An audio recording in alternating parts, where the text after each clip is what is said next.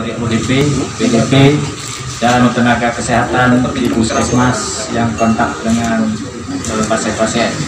Jadi pada hari ini dari dinas kesehatan akan mempraktekkan eh, cara penggunaan alat ini teman-teman untuk eh, memperhatikan.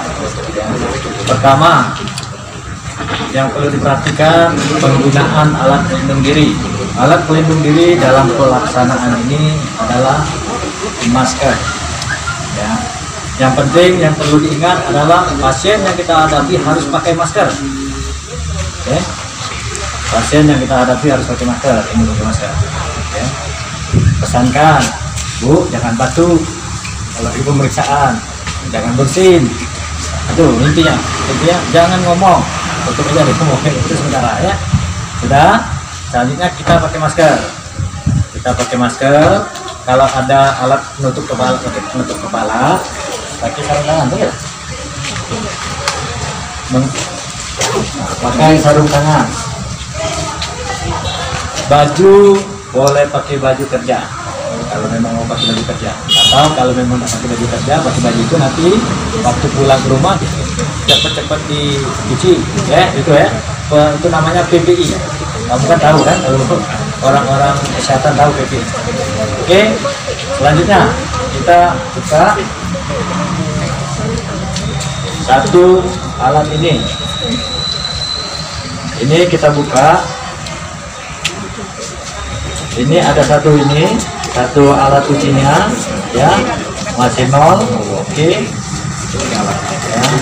Ya bisa satu, satu oke selanjutnya siapkan klik habis.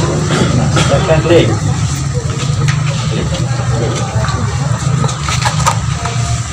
Siapkan swab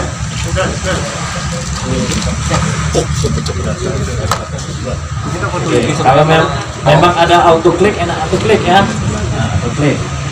Ya, ini ini ini uh, lancet. Masih zaman ini lancet. Oke. Oke. Oke. Tekan lagi bahwa pipet mikro ini ini caranya ditekan. Ditekan. Ditekan pelan-pelan kita lepas. Nanti dia darahnya akan menghisap. Batas hisap nanti darahnya batas garis. Sudah ada garis ya. Ya, mudah-mudahan jangan lupa lagi. Ya kemarin dengan saya lupa. Lupa Pak Gugup dengan saya. Ya. Oke. Baiklah, kita mulai. Ini naik. Ini kita cek karena ibu ini ibu Alia ini adalah petugas pusko. Gugus tugas. Dia kita anggap UDP karena memang dia sering berhubungan dengan masyarakat ya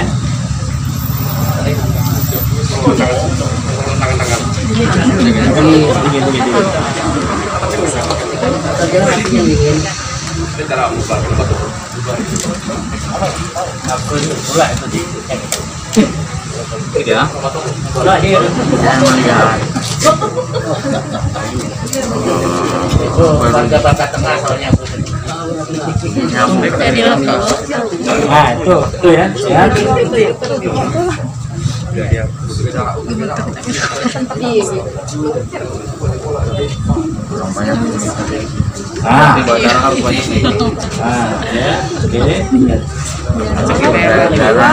Tangan mana kiri? Oke. Ah. Ini mana itu? Mana yang bukan kotak kotak safety box itu ada? Eh, mamanya satu. Gede deh, dekat, gede. Nah, tuh. Dua. Dua. Oke.